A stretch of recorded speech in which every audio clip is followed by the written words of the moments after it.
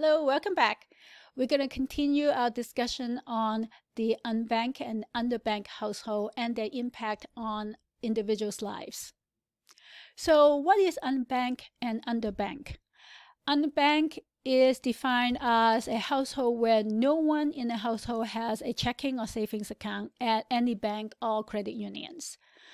According to a survey by the FDC FDIC, this is the Federal Deposit Insurance Agency uh, company, about 5.9 million households, meaning 4, 4.5% of the population, were unbanked in 2021.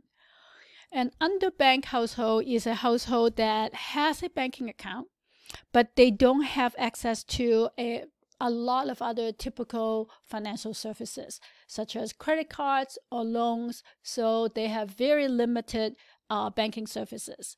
And about 14% of the household in the US was underbanked in 2021. So that's a very high percentage.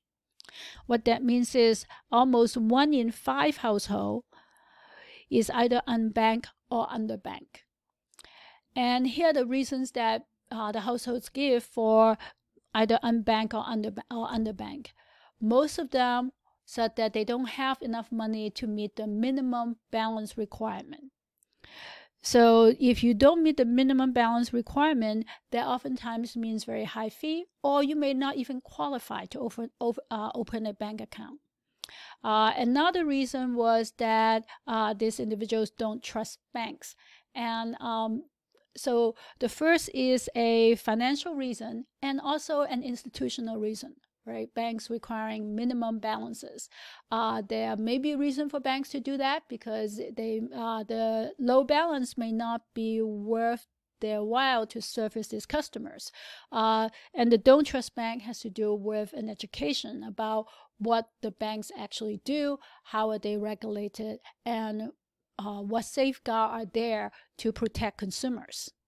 So who are these unbanked or underbanked household? As you can see, not surprisingly, finance is the number number one reason. So households that make less than $15,000 uh, were much more likely to be unbanked compared to households that make at least $75,000 per year. However, you can see there's also a huge racial disparity. Uh, for white household, even th- when they make less than $15,000, only 13.6% were unbanked or underbanked.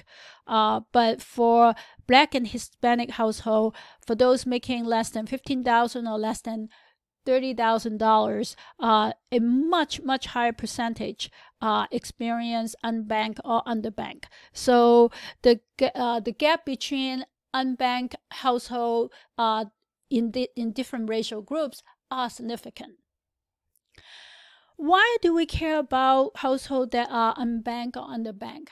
The reason for that is because being unbanked or underbanked can be very costly.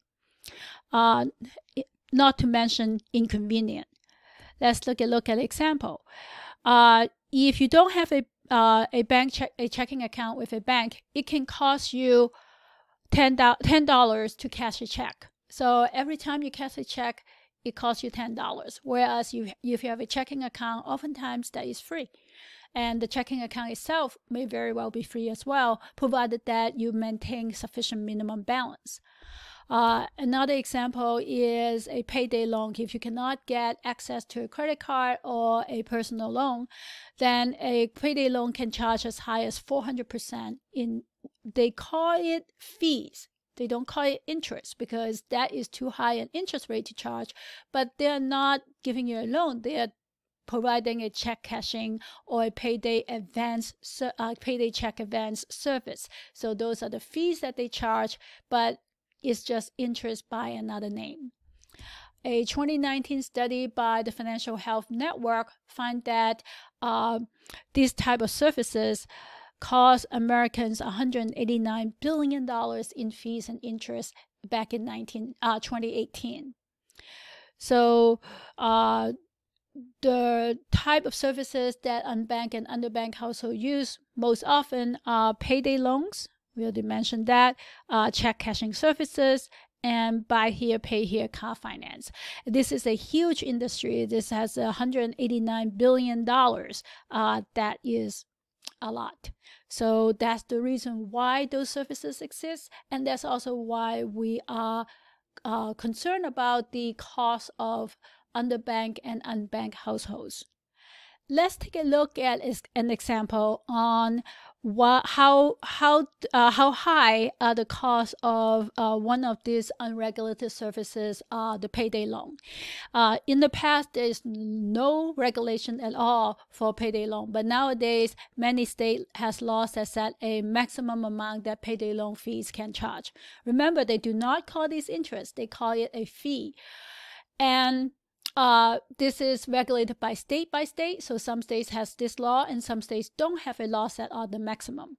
So the maximum ranges anything from uh, $10 to $30 for every $100 borrowed. So let's look at a specific example. Let's say you get paid every two weeks and you need $400 to fix your car. So the payday loan lender charges $20, which is the middle per $100. So 20 you borrow $400. So it's $20 per $100. So 20 times 4 is 80. So it costs you $80 to borrow $400. Now, at first glance, it may not seem too bad. You're only paying $80. But let's take a look at how, when we compute it, what does it really translate into?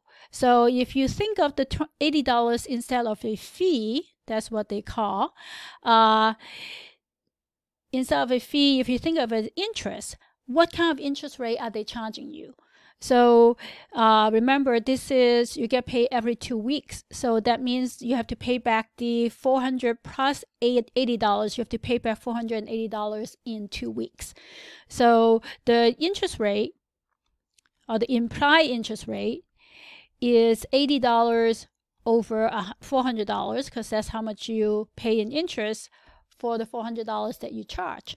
So that's 0.2 or 20% for two weeks. Now, most bank interest rates are quoted as APR or annual percentage rate, which means per year. So if it's every two weeks, uh, that means you get this. You can actually renew this for 26 times because there are 26 times per year because there are 50 two weeks per year. So every two weeks means 26 times. So you, you multiply 20% by, by 26, that translates into 520% per year. And that's not even taking into account compounding. And that is one of the dangers of uh, payday loans. So, first of all, this is very high interest rate, 520% per year. Uh, further, uh, oftentimes consumers that use payday loan get trapped. So the reason that they get trapped is because some states allow the lenders to automatically roll over a loan when it becomes due so that and so if you miss the payment then your loan will automatically be renewed and you you'll be charged the $80 you have to pay the fee and then they will extend the due date of the loan. So the next in the next two weeks you pay $80 again but you never pay off the loan. So you can pay $80 over and over again and you still owe them $400 and for someone who is living paycheck to paycheck to find that extra $400 can be difficult. And what they end up doing is then they'll end up paying the $80 over and over again, paying a loan that is really having an interest rate of 520% per year. So to get out of this trap, the first thing is they will need to become a bank household. And of you who are taking this class or watching this video are already uh, one step ahead. So the first important thing is to understand that banking is not that complex. So once you have the knowledge, then you can find the necessary resources to help you. Um, we'll go over some of those in this class. So you'll, you'll learn all the resources that you need. They can get help with credit counseling. There are banks with programs specifically designed to help unbanked household and they don't require minimum balance. And those of you who are college student, this is if you don't already have a checking account, this is an excellent time to do that because a lot of banks have special checking accounts for students that don't require minimum balances and also don't charge a fee.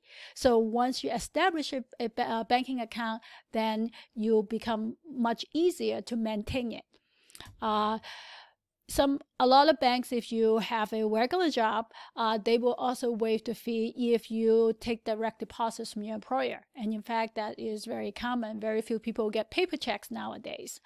Um, as i mentioned there are special programs. Uh, you can find those programs that are designed to help unbanked households to get started. We'll pause the video here. Uh, we'll continue to, when we come back, uh, in the next video, we're going to talk about different services in more details and the institutions that provides them. See you soon.